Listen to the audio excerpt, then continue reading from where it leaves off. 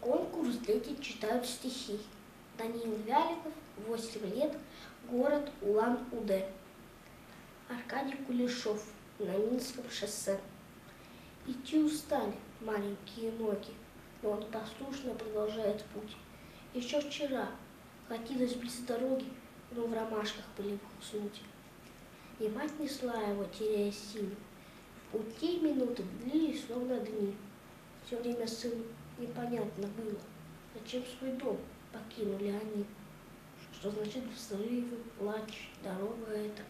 И чем он хуже остальных ребят, что на траве зеленой у кивета, а скинув руки, рядом с мамой спят. Тяжело выслушивать вопросы. Могла ли малышу ответить мать, что этим детям, спящим у березы, что идти мама никогда не встать? Но сын вопросы задавал упрямо. И кто-то объяснил ему в пути, что это спали не живые мамы, от бомбы не успевшие уйти. И он задумался, под лязг машин железных, как будто горе взрослых понял вдруг. В его глазах, недавно безмятежных, уже блуждал осознанный испуг. Так детство кончилось. Он прежним больше не был. Он шел и шел.